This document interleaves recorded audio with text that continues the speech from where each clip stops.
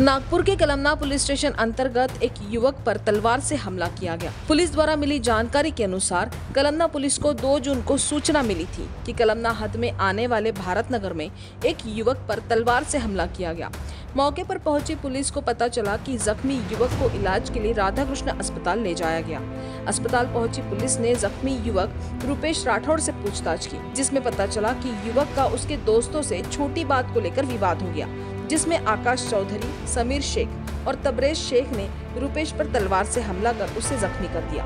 फ़िलहाल तीनों आरोपी पुलिस हिरासत में है और आगे की जाँच में कलमना पुलिस जुट चुकी है। भारत नगर यहाँ पर एक व्यक्ति को मारहान हुई है। ऐसी माहिती के ऊपर से पुलिस स्टाफ वहाँ पर गया।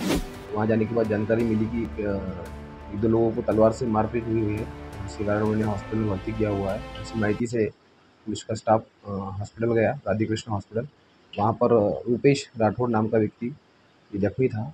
उसने बताया कि उसके साथ ही बस, बस्ती के आसपास रहने वाले उसके दोस्त आकाश चौधरी, समीर शेख और तबरेज उर्फ़ अम्बू शेख, इनका किरकोट छोटी बात पर उनके साथ में वाद विवाद हुआ और इस कारण से उसने तलवार से उसको मारा, जो उसने हाथ से रुकाया अड़ाया, जिसके कारण उसके हाथ में इंजरी हुई है।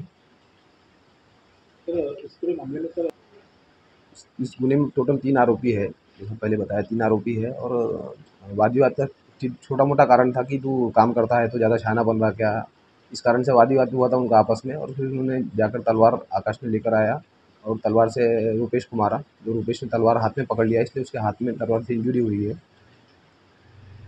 फिजादी जो है वो देशी दारू की दुकान में काम करता है और आरोपी तो मजदूरी का काम करते हैं। तीनों आरोपी को गुने में अरेस्ट कर लिया गया है।